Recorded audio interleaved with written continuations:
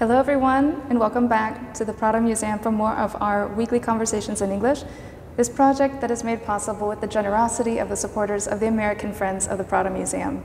The American Friends is a nonprofit organization, and everything we do is to help the Prado Museum to help study and share and grow the collection in as many ways as we can.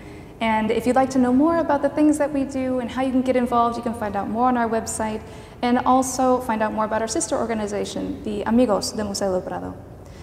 Today we're going to be looking at a beautiful portrait, a self-portrait, that is so special not just because of its amazing technical quality, but also because of the ideas that went into its creation, the ideas behind it.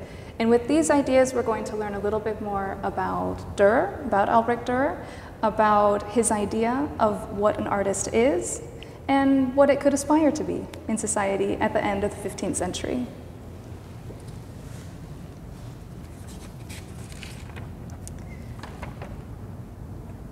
Dürer was born and raised in, in Nuremberg, although his father was originally from Hungary and he was a goldsmith. So he grew up in, uh, in the goldsmith's workshop, although from early on it was clear that Albrecht's talent in painting and in drawing would really put him on a path outside of that workshop. He traveled twice to Italy, and this is where he was able to pick up on the artistic advances that were being made in the Italian Renaissance. He was very famous already in his lifetime, both as a painter and as a printmaker, and he would end up working both for Maximilian I and for Charles V.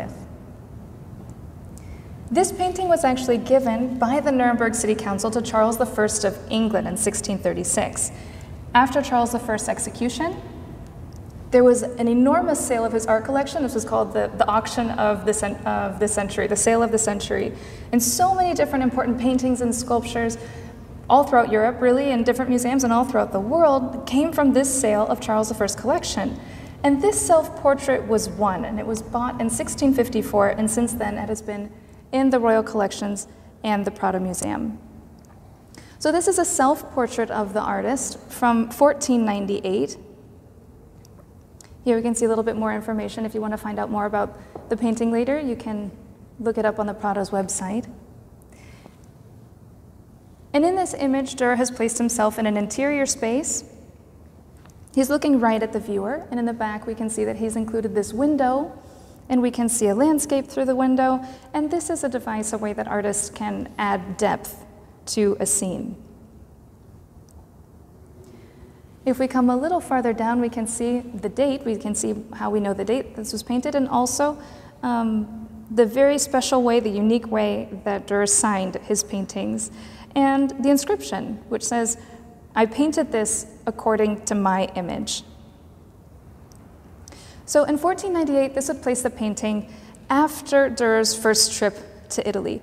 And we can tell here that the artist is showing us that he has been to Italy and that he knows what's going on there and he understands the advances that are being made. And really because he's taken what was originally a Flemish model for portraiture in this half-length uh, view with the sitter slightly turned, looking towards the viewer. Um, and he's made it slightly more Italian. And how has he made it more Italian? Because this has much more monumentality, much more structure, than a Flemish portrait would. And we can see that really in the repetition of horizontal and vertical lines. Starting here with the window, and again with the window. Even with this element of his clothes here, and this piece of architecture here, and also in, in his arm and the way that he's posing. It looks like we have this, this L shape over and over again. When we get close, we can really appreciate all of the quality, all of the small details that we're able to get because of his use of oil painting.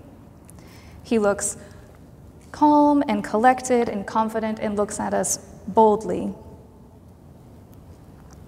And he's painted himself in really stylish, really elegant clothes for the time. He has on a black and white jacket. It's kind of loosely open and a matching cap that goes with it. Here when we get close, we can appreciate all of those details from the oil painting and all of the, each strand of his hair. It's great. And uh, then we have this silk cord that's holding on a, a cloak that's just kind of draped over his shoulder, a gold trimmed undershirt. And as we go all the way down, we'll see that something is just really drawing us, drawing our attention to his hands, that we really want to look at his hands in his painting. And we see that he's wearing gloves, and, and not just any gloves, but these are expensive doe skin gloves. So, what has he done here? Well, Dürer has painted himself as a gentleman.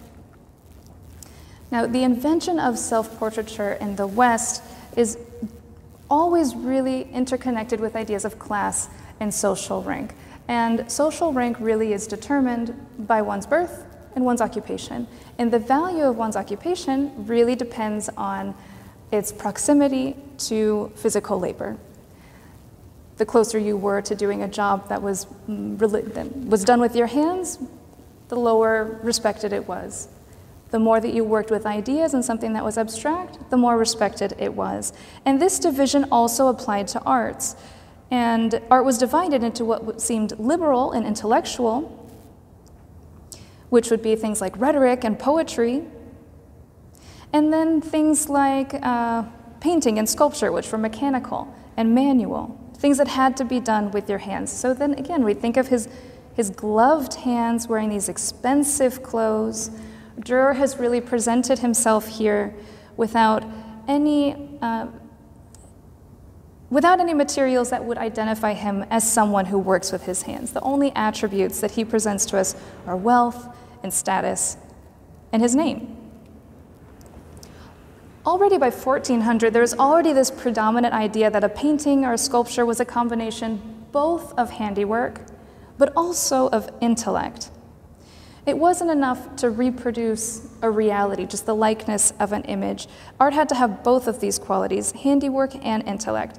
Michelangelo would actually say that we paint with our brain, not with our hands. And this poses a challenge to portraits, really, which inherently are trying to reproduce the likeness of someone.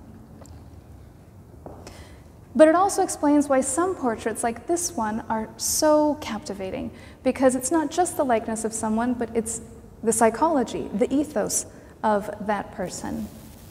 And Dürer here is showing us his psychology, showing that he works not just with his hands, but with his mind, with his intellect. And he shows us that with how much we can see the psychological depth of his gaze, and then it really drives the idea home with the fact that he's captured this in painting, uh, which makes him um, an artist in the liberal humanist sense. And his self awareness in this category as a liberal artist at the end of the 15th century is really, really amazing. And it tells us not just about his social status, not just about him, but about the status of art and of the artist in society. And we'll leave it here for today. I hope that you've had uh, a good time learning a little bit more about Dürer and about the role of artists in the 15th century. And uh, we'll see you again next Wednesday for more videos in English. Thanks for joining.